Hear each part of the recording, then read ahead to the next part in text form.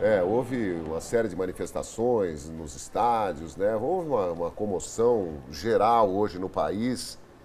Foi um domingo Tudo realmente. bem, o, o público, o público foi baixo, tinha 7 mil pessoas, Uau. mas impressionou o silêncio do minuto de silêncio. Foi realmente um minuto de silêncio daqueles silêncios ensurdecedores, todo mundo calado realmente. Você ver como a tragédia chocou o Brasil.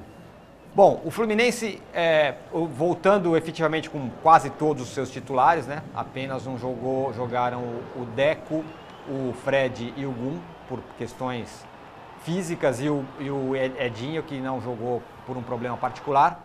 Mas o resto do time é o time, o mesmo time do ano passado. E jogou no esquema mais, ou menos do ano passado. Tem, teve como Wellington, né, esse jogador aí, seu principal jogador em campo. Jogou muito bem, tanto que fez o gol infernizou a zaga do Botafogo também.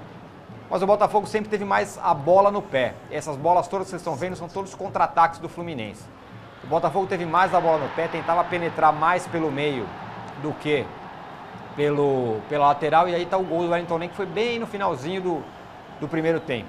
Ele recebe a bola e toca ali no contrapé do, do Jefferson. O primeiro tempo acabou assim.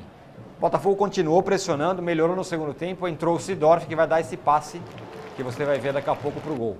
Ele entrou ali no lugar do Jadson, colocou um time um pouco mais para frente e aí conseguiu o empate. Aí a chance perdida para o Wellington. Se ele tivesse mais perna direita, ele fazia esse gol, né? Ele tentou chutar, podia ter limpado o goleiro, estava quase sozinho. E aí o Sidorf, com todas as bolas paradas eram dele, ele deu uma cara um pouco melhor para o Botafogo, né? um pouco mais ofensivo. E aí vai sair o gol. O Bruno Mendes apagado em campo hoje, é, vai fazer a jogada, vai, a bola vai sobrar para o Sidorf, vai dar de primeira. É, mas é uma Olha sensação de, de, de longo De prazo. primeira não é sai o gol do Bolívar. passado. Dois gols em três jogos do Bolívar. é. O segundo gol dele já Não, tinha feito gol na outra, sendo pouco, no mas- outro jogo, fez gol de novo agora. O empate acabou sendo justo, pelo esforço do Botafogo em campo. Mas você vê que o time do Fluminense é um time campeão brasileiro, tem mais elenco e está mais eh, postado em campo.